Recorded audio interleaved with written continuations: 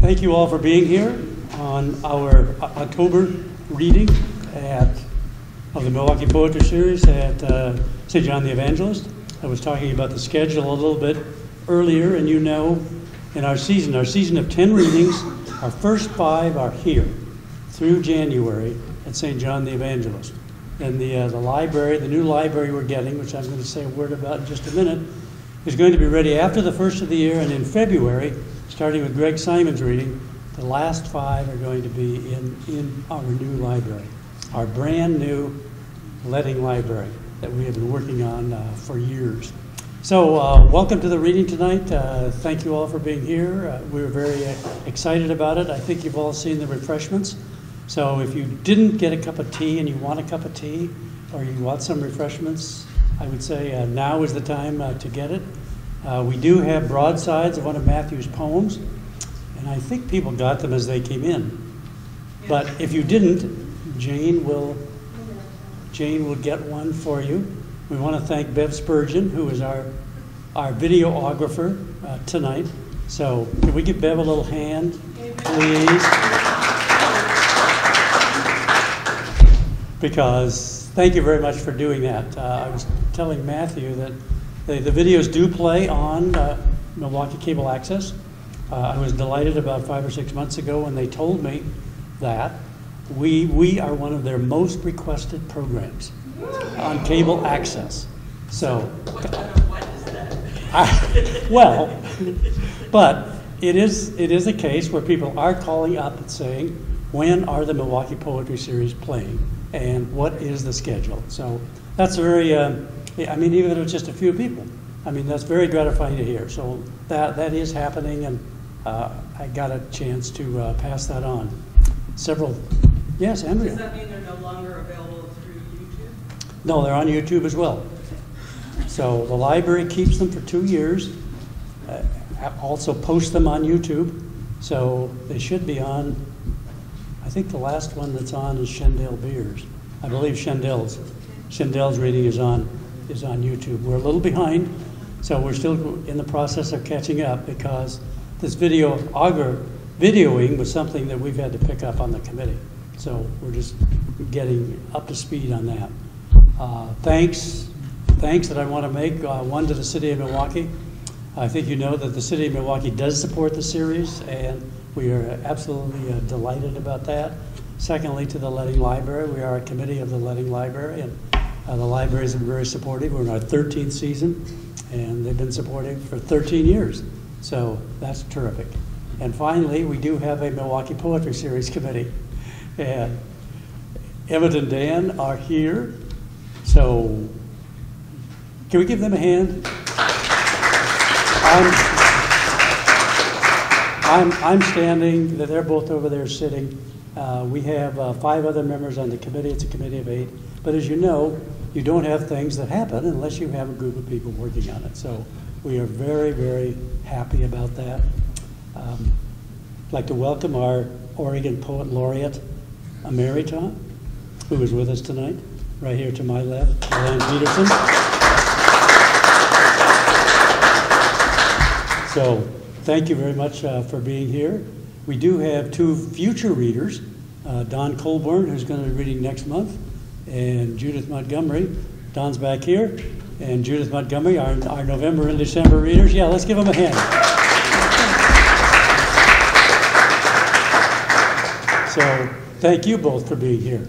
I'd like to remind everybody about silencing your telephonic devices, uh, if you would. That's beepers, pagers, smartphones, uh, and, and so forth. If, if you would. I'd like to say just a word about uh, upcoming events. You've heard that uh, Don Colburn is going to be our reader in uh, November. We are sponsoring a workshop with uh, Annie Lighthart, and she's going to be doing a workshop on writing Rumi. And that's going to be November 2nd. The invitation is going to be out for it tomorrow. So if anybody wants more information about that, um, please see me after this reading. Uh, We're also, we concluded our First Friday readings, which we do in partnership with St. John the Evangelist, May through October. So we've just concluded that, but we are going to be having an open mic on November 6th, first Wednesday in November. That's going to be here, and the theme is going to be autumn, autumn, fall. And of course, you don't have to read around that theme, but you're invited to do that. So, I've been very excited about this reading tonight, and we are delighted to, uh, to have Matthew here. Uh, his recent collection, Small Gods, won the 2019 Oregon Book Award in poetry. His first book, Translation, was chosen by Jane Hirshfield for the 2014 Wick Poetry Prize. His poetry and essays have appeared in or are forthcoming from numerous journals, including The Believer, Poetry, The Southern Review, Virginia Quarterly Review. He's the recipient of numerous awards and fellowships, including the C. Hamilton Bailey Oregon Literary Fellowship, the Stanley P. Young Fellowship in Poetry from the Bread Loaf Writers Conference, and a Writers in Residence Fellowship from the James Merrill House. This past summer, he served as the 43rd, 43rd Dartmouth Poet in Residence. Been looking forward to this, and would you join me in welcoming our poet for the evening, Matthew Minicucci. Matthew.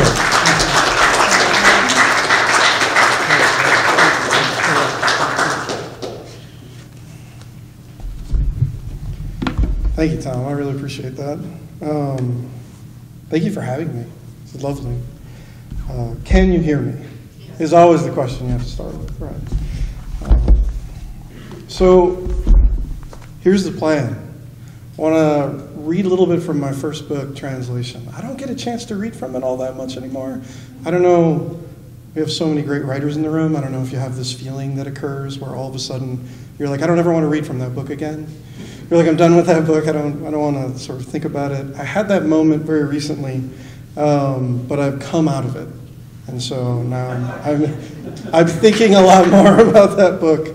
Uh, and so I want to read a little bit from it. I think that'll be fun. I'm going to read some from Small Gods, which, uh, as you just heard, won the Oregon Book Award. And then, as a great special preview, I'm going to read three poems um, from the next book that I've just started sending to press. So we'll see we'll see how that goes. Um, all right, so translation. So I translation was a book I have. So my story about this. So Jane Hirshfield chose this book, which was amazing, almost universally because I got to hang out with Jane Hirshfield, who's um, just a genuinely amazing poet and a genuinely amazing person. Uh, she called me and was like, "We want your book. We're excited. You won. You won this prize." I'm like, "Oh, that's amazing. That's a life changing." She's like, "I don't like the title." And I was like, oh, like, okay. Um, she suggested the title Forgiveness.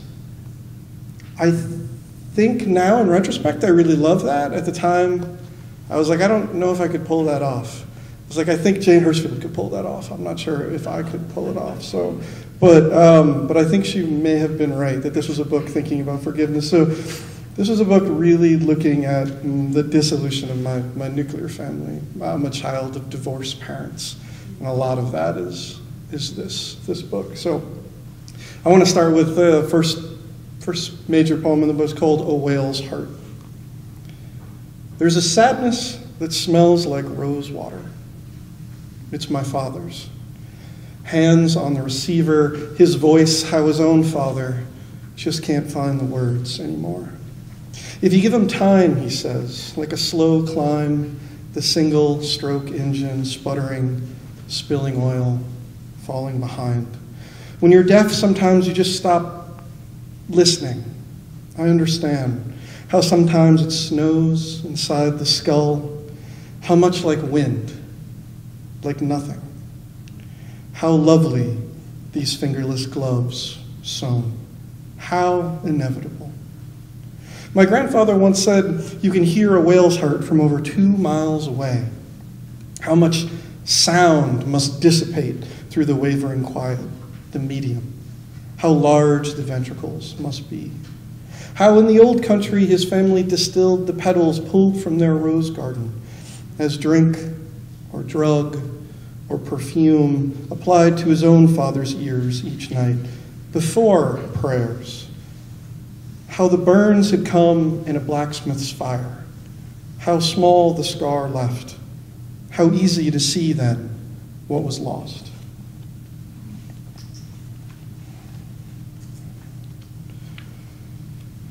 The lilac and the bee. I was just a boy when my mother was born.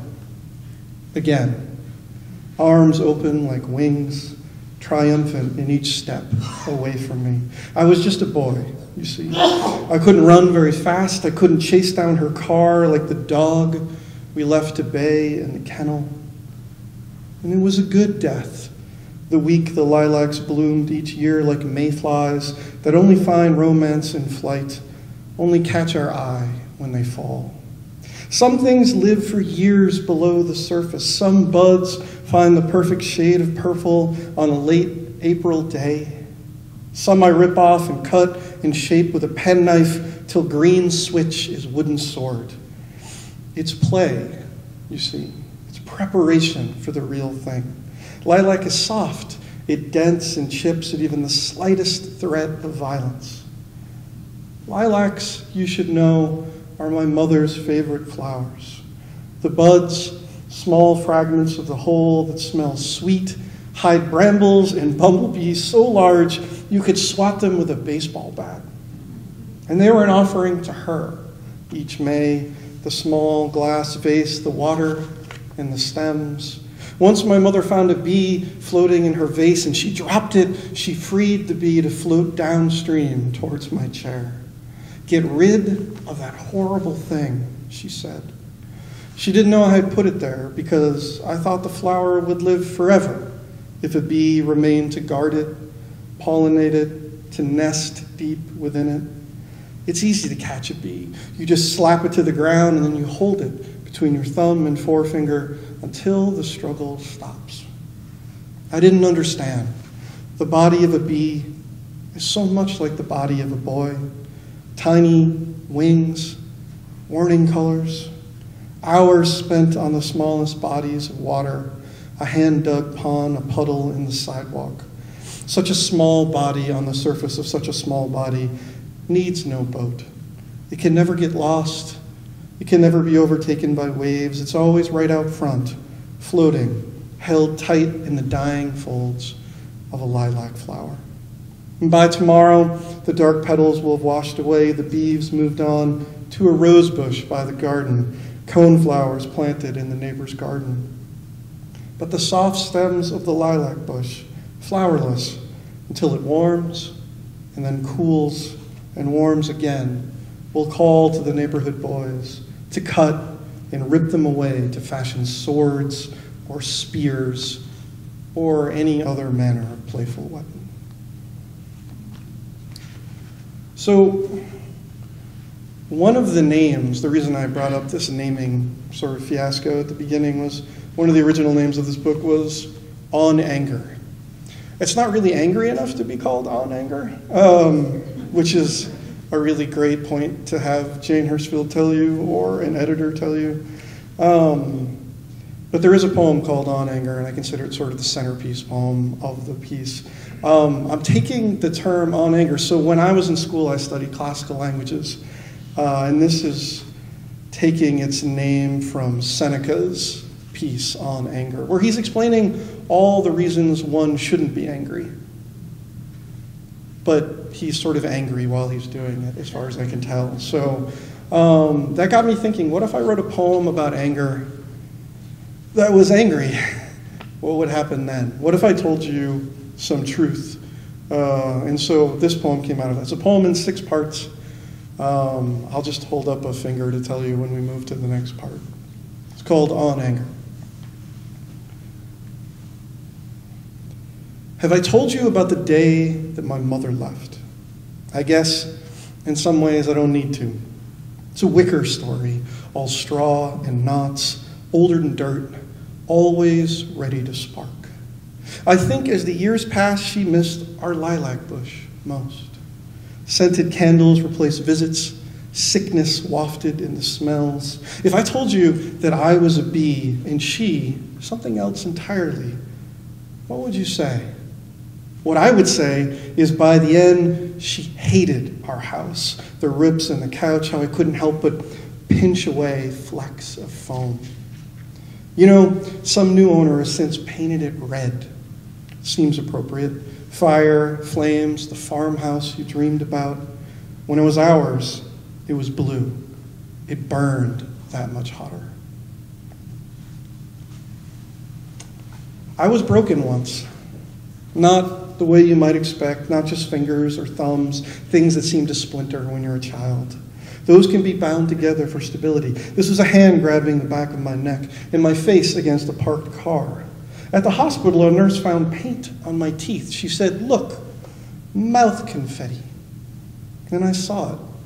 Fluorescent funhouse, such blue, scratched enamel. I just wasn't strong enough, you know? People have these images of fights, parry, thrust, a dance of geometric shapes, but it isn't like that. That which can be held is held and will not be relinquished.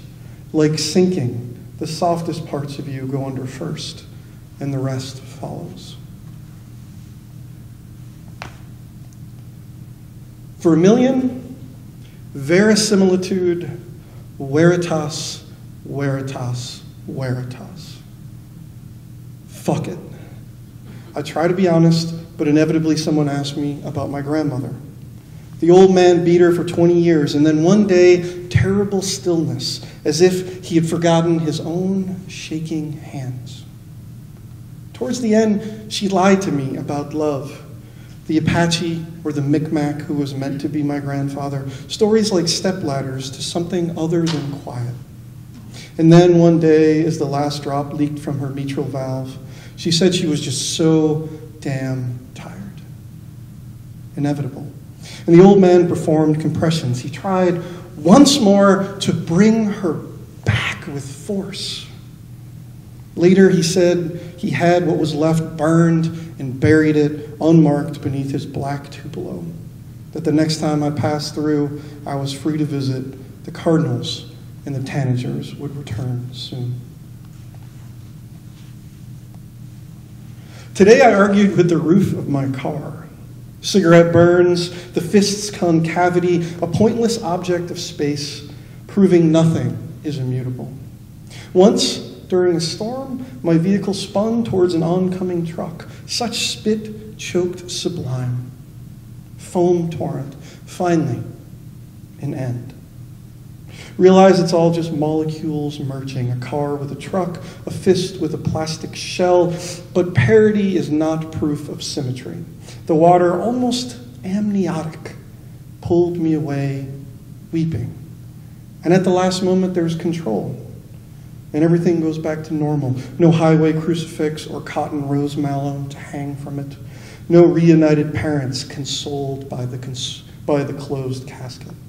No picture crudely taped to the mirror's edge. The truth is, I have no mirrors in my house. I can't stand the sudden reversal of these broken things, the strange sickness of seeing me the way that you do. Have you ever read Seven Against Thebes? People talk about war like it's a whisper, the low thrum of the inevitable. All these battles within walls of stone and flesh. It's some terrible quiet that pains us.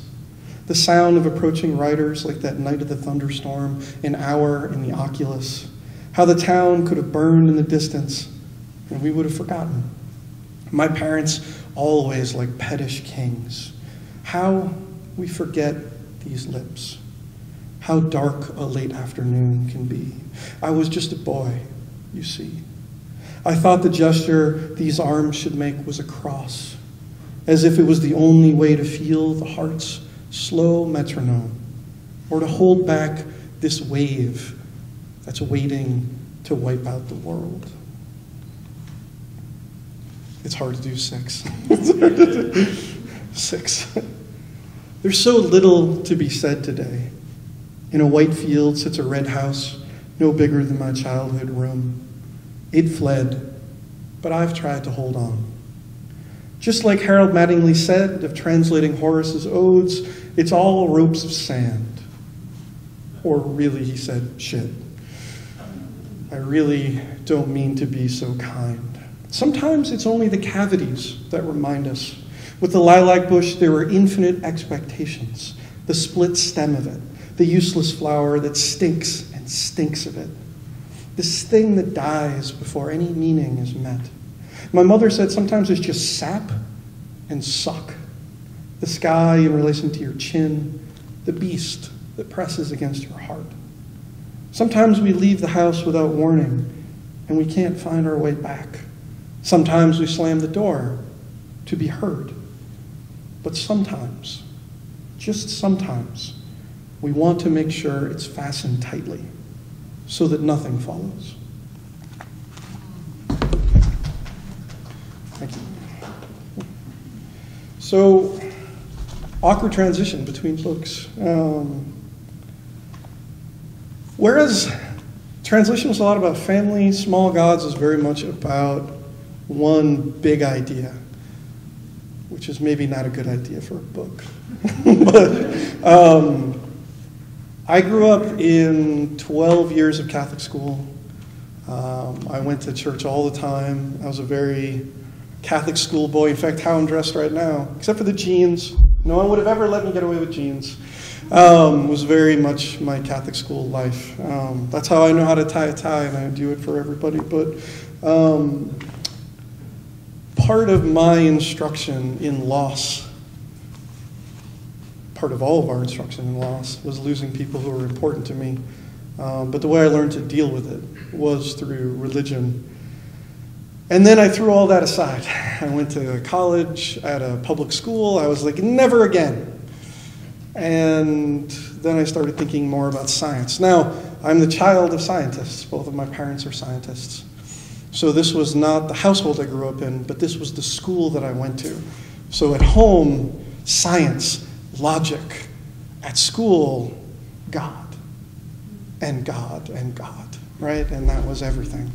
So this book is about how religion and how science come together as two separate but perhaps equal ways of thinking about loss and perhaps dealing with loss. So. I uh, would love to start with the first poem, which I'm going to try to do for you from memory, because I try to always do it from memory. So, um, there are book, there are poems in this book that are named after books of the Bible. This is my all-time favorite Pauline epistle, Paul's letter to the Romans, which, if you studied this in any way, you know was unbelievably important to Martin Luther in thinking about the concept of grace, uh, a thing freely given always from God. So uh, this is called Paul's, Paul's letter to the Romans. What if I told you that desire is something with lips, something ancient, cavernous, filled with tepid water and transparent, eyeless fish? What if it wasn't skin or its lack that pushed you away? What if loss was something more than your bronze gods, porcine and bright, the stink of some world hanging off the end of a spear? What if I could offer you doubt's long sands, burnt temple, the body lost to the sap of trees? What if the small flash of emptiness at the back of the knee fired the heart of this king, this graceful thing, and each time you approached, there was given love, like an oil lamp. What if less or fewer or nothing could be augured? And birds were next to him, the closest thing. What if no flesh was asked for except this? Or this? Or this night caught in the belly that bore it. What if all this time you were already home? What would you be willing to burn to light it?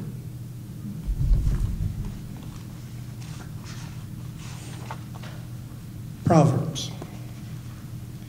Let's not talk about how much has been left on the porch, the rocks in the vase, the case made each day no better with time. In rhyme, I always hate myself, drowning in a shallow pool, just to be thought a fool again, fooled, of course, in the long, dark spool of night. Consider how a hand brushes against another and how that is almost nothing. This morning, a cat walks carefully through the white yard, unsure of each step, and yes, she reminds me of you. I want to take her in. Eat this, the body says, and stay. In the end, any breath left is wasted. So let me be clear. Tracks in the snow indicate at least some life, and this is intimate. How what's empty is always cavernous, no matter how delicately placed. So, fairly recently, a couple, couple years ago, but it feels very recent, um, my grandfather passed away. One of the complicated parts about writing, by the way, the greatest compliment I ever received was from my teacher, my, my advisor, my mentor, the person who I loved very much in life. Brigit Kelly was my teacher who I studied with. And when she passed away, it was it was it was an irreversible sort of thing. But the kindest thing she ever, she said many kind things to me. The idea of being Brigit's student was she had this beautiful farmhouse in Illinois. Uh, and if you haven't read her work, please go seek it out. Um, Song is perhaps one of the greatest books I've ever written, as is The Orchard. Um, as is, quite honestly, To the Place of Trumpets, her first book, though you can't find it because she never wanted it to be reprinted.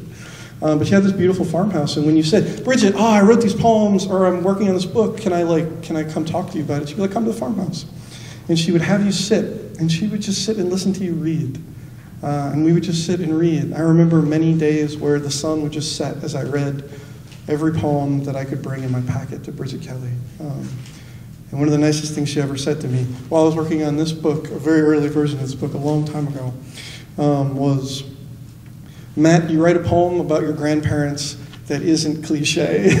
and I was like, that is the nicest thing anyone's ever said to me. um, my grandfather passed away. I, I, dedicated this book to, to him in a lot of ways, and a lot of these poems are dedicated to him. Make it clear the grandfather that's being spoken of very negatively in the poem that you heard in translation is different than this grandfather, obviously, two grandfathers. So important to note. But this comes out of the last thing that my grandfather ever said to me, um, which was the line, Then my ship will be gone. I have no idea what that means. He was not making a lot of sense at the time, but I decided to write a poem around it. So, it's called Black Ship Swept. When my grandfather says, Then my ship will be gone, I have no response. And so I mourn just as my mother taught me to do, just as she was taught by her mother and each mother before that, a clue held taut. As when I said, I miss you, and to this you had no response. Only that the ship has been swept, swept, swept, sweeps away. I know, but I don't know what to say. What I'm looking for is here by the coffee and cornflakes, always that there is another cave, lit but still dark like remains, or simple inertia of a swaying body sculpted to simulacra from ashes, as if by a mother's heavy hands.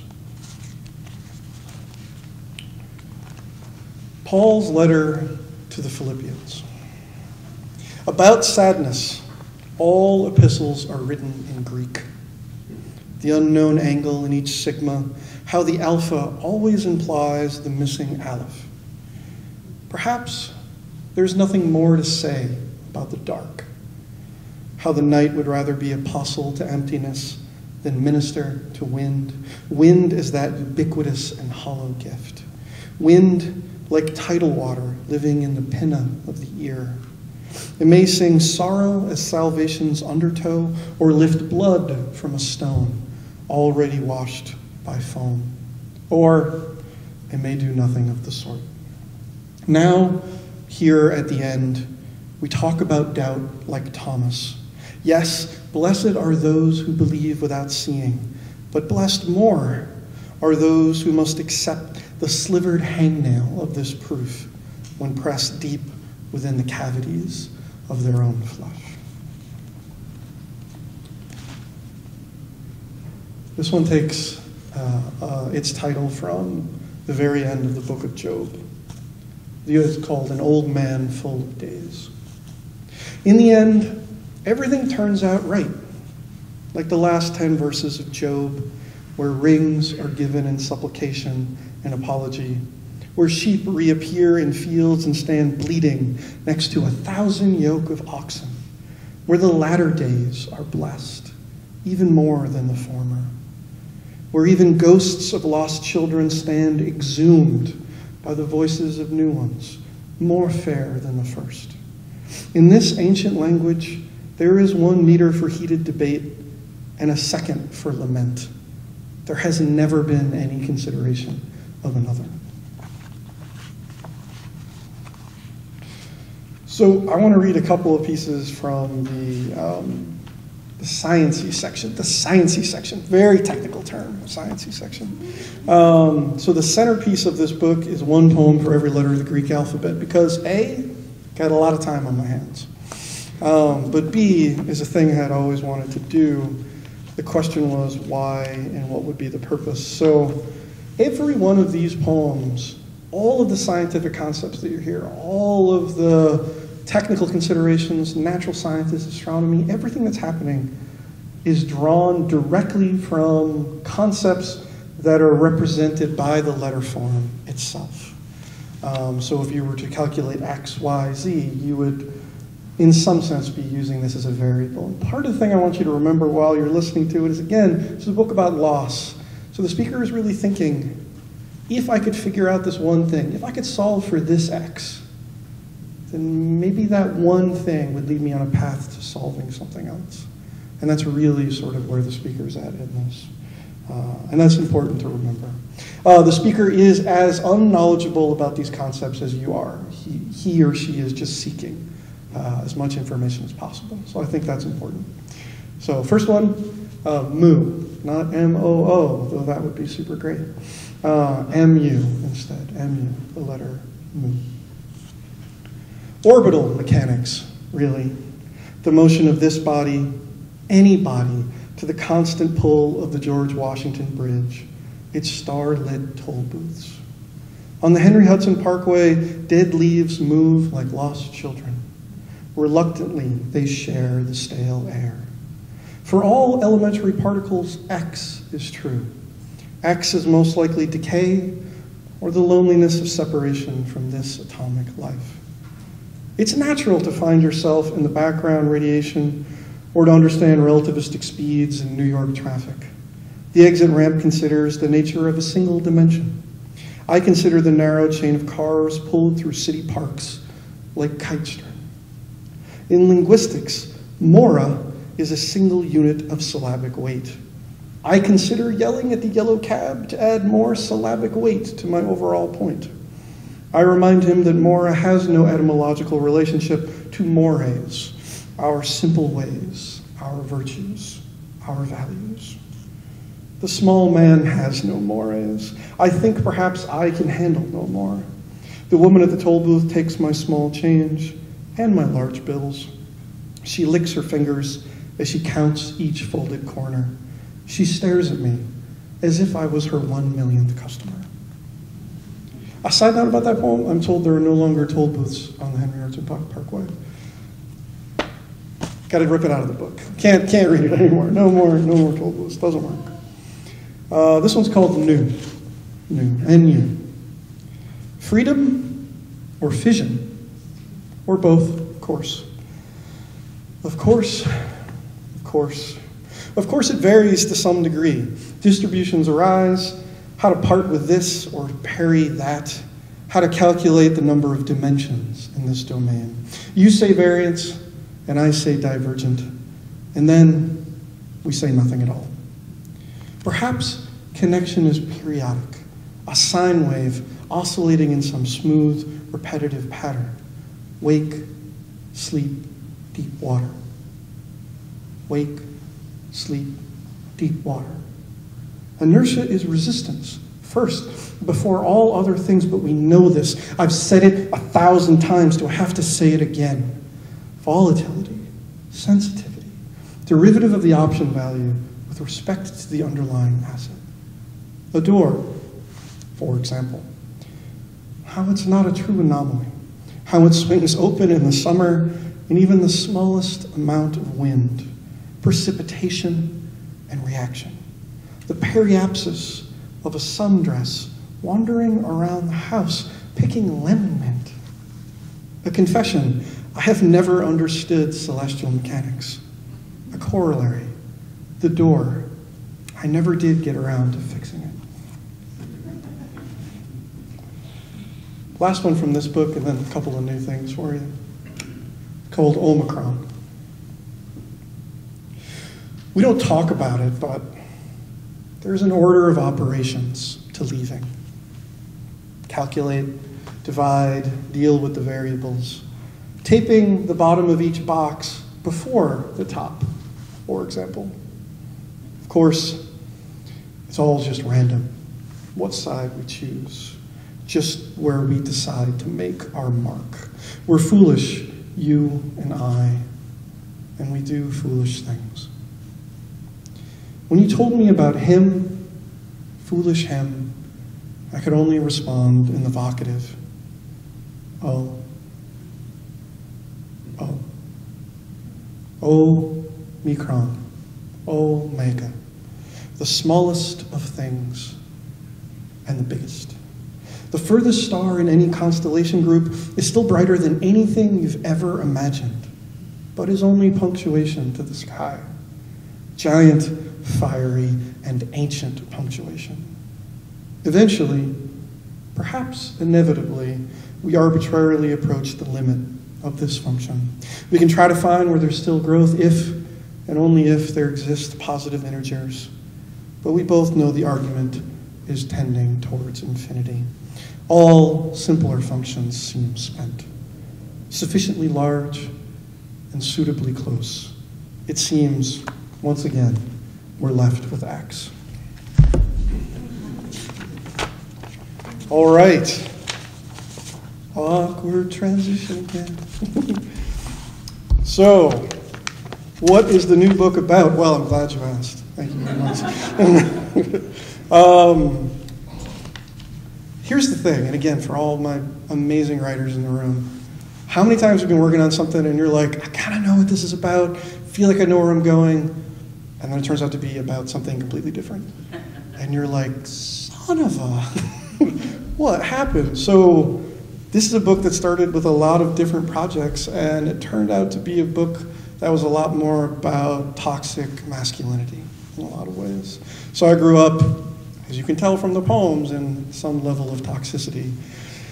Um, and I was thinking back very much when I was working on this about the fact that violence was a very um, was an easy thing to grab for, is the best way I can think to tell you. Um, it was so ingrained into every part of my life. If, if somebody gave me crap at school, my father said, then you go in and you hit him as hard as you can. And you grit his teeth. My, my father does this teeth gritting thing. Um, and so it did. Um, quite a lot, which is why, even to this day, um, I have bad orthodontics. Because anyone who's ever been in a fight knows that uh, it doesn't always work out in your favor.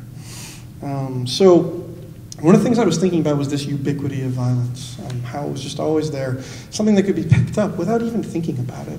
Um, so each of these poems is from a series called, um, it's called Stage uh, Weapons and Other Dramatic Objects. Stage Weapons and Other Dramatic Objects. And one of the thoughts is that there are these weapons um, that are around us all the time, but without thinking, we don't even see them in our daily lives. Um, and so these objects are all taken from what might be on a Greek tragic stage, because I'm a classicist, had to do it.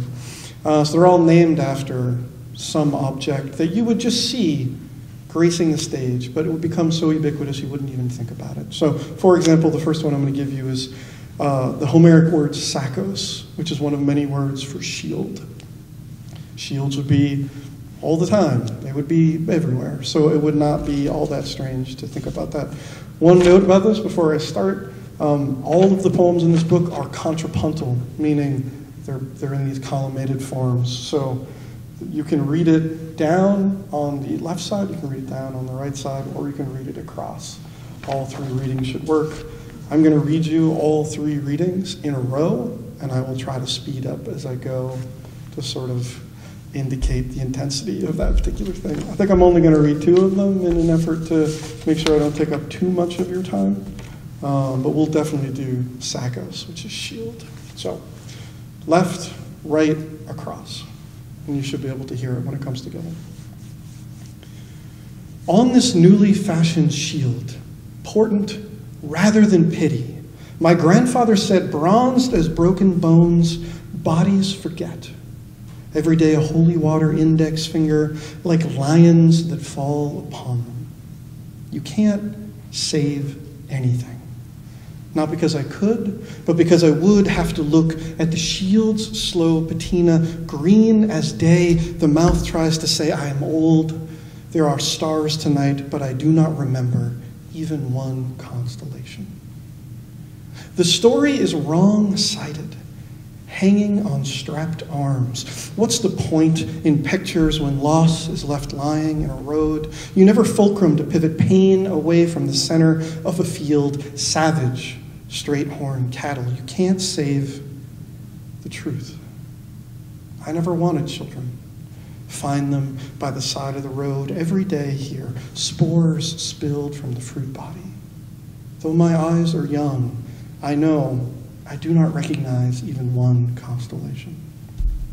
On this newly fastened shield, the story is wrong sided, hanging on portent rather than pity strapped arms. What's the point, my grandfather said in pictures, when loss is left lying in a road, when loss is bronzed as broken bones, bodies left lying in a road? You never forget.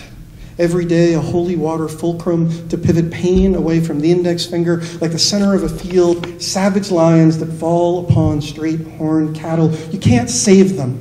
You can't save anything. The truth.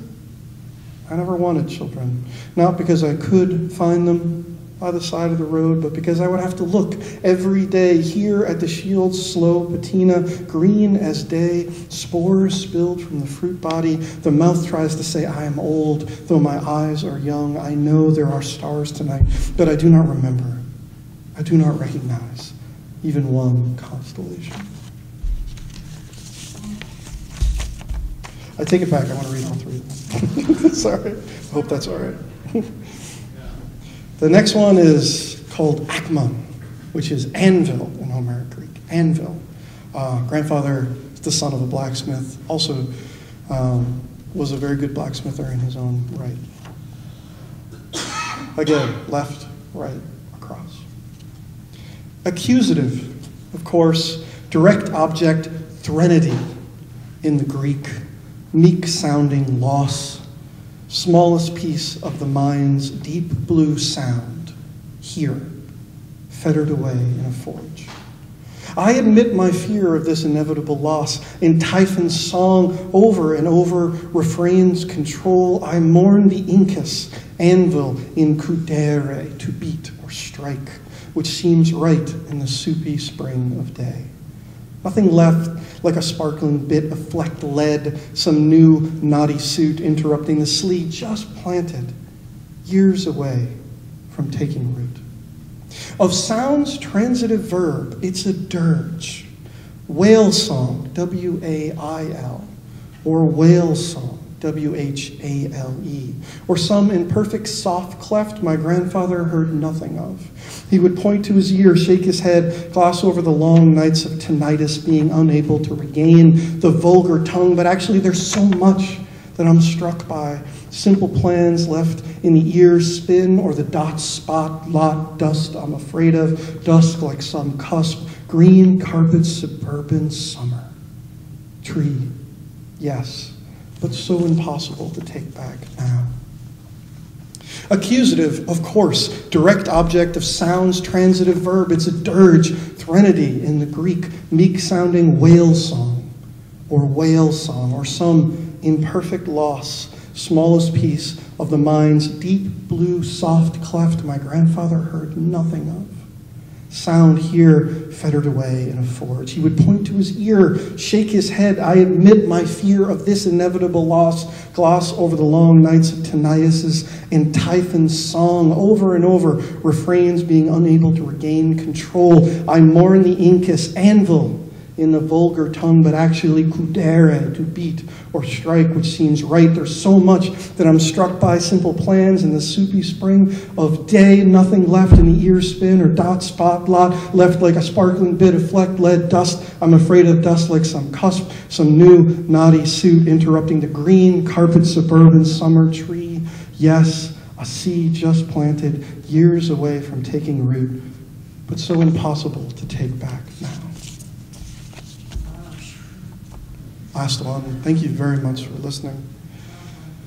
This is my absolute favorite Homeric word because I'm a huge nerd and I have a favorite Homeric word. It's oxeus, which can mean one of two things the strap of a helmet or the bolt of a door.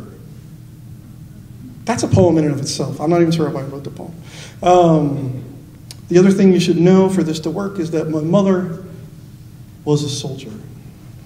So, helpful to know left, right, across. Mm-hmm. Maybe it's too early for glow. Slow as a cloud slung, like what a soldier might carry home. I'll never understand why my mother, for example, carried a set of latrine tools, mosquito netting, a cat that wouldn't leave her side, her infidelities. She carried those too, like volcanic stones that which impossibly formed inside the open mouth of mountains, mountains of what one might choose to take. She left our house one day, a bolt against a red door, and never came back, not once more to gather blank. The May lilacs, vulgar in their epithet, common gift despite only brief flowers, simple leaves I understand. No eaves in the armor, house filled with the dead and spent worlds. There is nothing incandescent about one March afternoon when my mother left, like she created nothing important before calmly locking the door. Maybe it's too early for glow. Slow as she left our house one day, a cloud slung like what a soldier might carry, a bolt against a red door and never came back home. I'll never understand why. Not once more to gather blank. My mother, for example, carried the May lilacs, vulgar in their epithets, a set of latrine tools, mosquito netting, common gift despite only brief flowers, a cat that wouldn't leave her side, simple eaves. I understand. No her infidelities. She carried those eaves in the armor, house filled with the dead, too, like volcanic stones in spent worlds. There is nothing incandescent about that which impossibly formed inside one March afternoon when my mother left like the open mouth of mountains. Mountains of what she created. Nothing important one might choose to take before calmly locking the door. Thank you.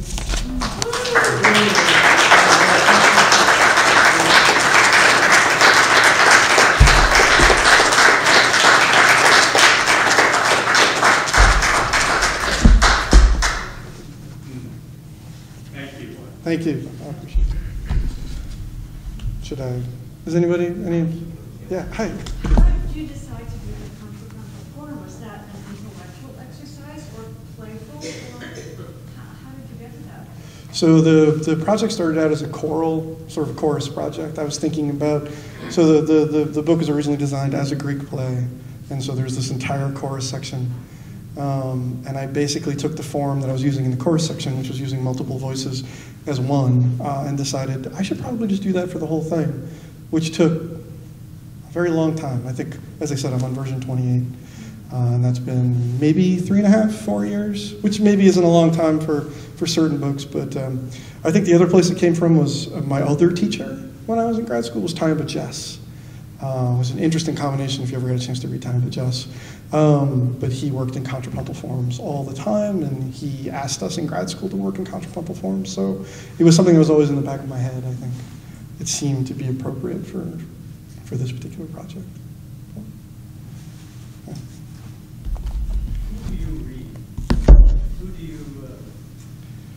Who do- you were asking, who do you think has influenced you? that's kind of a two-part question. Yeah. Yeah. So, who's influenced me, and maybe who have I read, in, or who am I reading now, and who's influenced me? Well, the two people that I've already mentioned, obviously, who were my teachers, Brigit Kelly and Tyehimba Jess, were huge influences. Strangely, Jane Hirshfield also became a big influence, even though I don't think I read anything like her. Um, but I also don't think I read anything like either of those two people either. Um, so maybe that's all the, all the way it is. My, my entry into um, poetry was actually um, Jim Tate was my sort of was the poet that I first heard. He taught at University of Massachusetts, where I was an undergrad, and I just sort of wandered into a into a reading one time, and he was effing hilarious. Um, and it was the strangest thing because I didn't know a poem could be hilarious. As you can tell, not very funny um, in the poems, but I think I'm okay funny, like in real life. Um, so it was interesting that it never really happened in the poetry. Maybe someday that book will happen. But I think with Jim, and honestly, that same reading, uh, Dean Young was there as well. Um, who, and by the way, Jim Tate was Dean Young's hero. So you had this sort of long line of these people who were sort of hero worshiping each other. Um, and I got to see them read together, and I was on the floor laughing. And it really opened up something inside of me a lot, where I suddenly felt like um, maybe I never became funny as a poet, but I was willing to make the move that maybe doesn't make sense on first or second or third thought. Um, I was willing to ride my own mount, maybe, and to, to, to think how Frost might think about it. But um, there, I would say those were two of the people who really, because I just went and just read everything. And this was right before I went to grad school. And then when I went to grad school, people like uh, Bill Olson was a big, um, was a person that I thought about a lot. Um, and then eventually became friends with, which was amazing.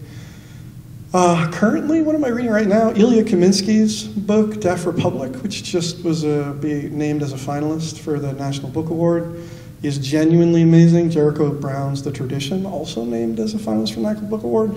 Um, both of those books were two of my favorite books of the year, and I thought that they were just absolutely brilliant. I also want to have my students, I, I'm teaching at Linfield College now, which is amazing and a lovely place, and um, I'm having my students read Analicia Sotelo. Uh, she wrote a book last year called Virgin, which is amazing. She has these mythology poems, but she also has a lot of Catholicism. She's thinking about images of the Virgin, um, both in uh, Greek mythology, but also in sort of Catholic mythology, and how it's really, really, really hard to be a person who has to unsexualize themselves while you're feeling sexual, which I think is absolutely fascinating, and she writes about it just genuinely brilliantly. I, we're talking about it tomorrow morning when I have my, my intro to creative writing class, so pray that they're excited about it, because I'm hopeful that they will be, because I'm sure anyone in the room who's a teacher, you know how hard it is that if you teach something that you like, and you walk in there and they don't like it, uh, you can try to keep your critical tie on you know, and try to think about it. What are we, what are we doing the lesson today? What are we specifically talking about? But inside, there's a tiny bit of disappointment that they're not just like, this is amazing. so, yeah. any, any other, anything else I can answer? Do you have a process for writing? Do you write every day or try to? or Yeah. How does, how does, how do you keep that going?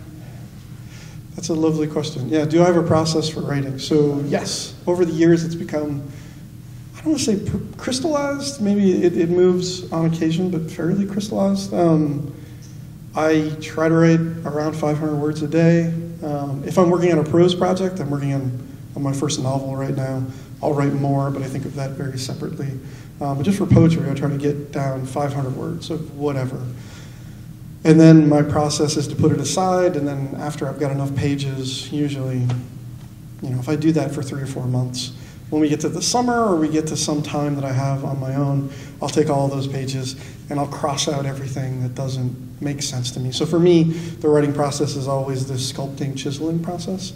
So I have all this information and I cut out everything that doesn't look like what the poem maybe wants to be.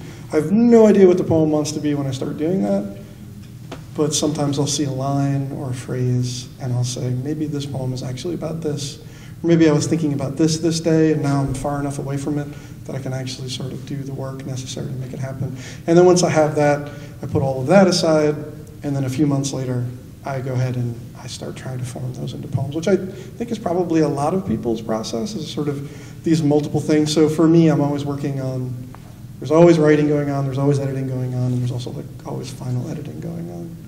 That way, if I am like really mad at one of those things, I can stop. And I'm like, oh, I'm, I'm writing terribly today. Oh, okay, back to editing, right? Like, so there's always, I basically have designed my whole process under the fact that I'm, uh, I have a very short attention span. So, so yeah, hope that helps. Are there any more questions? Anything else? Uh, If not, Matthew's I am here. Do you have books? Yes, uh, I do have some books.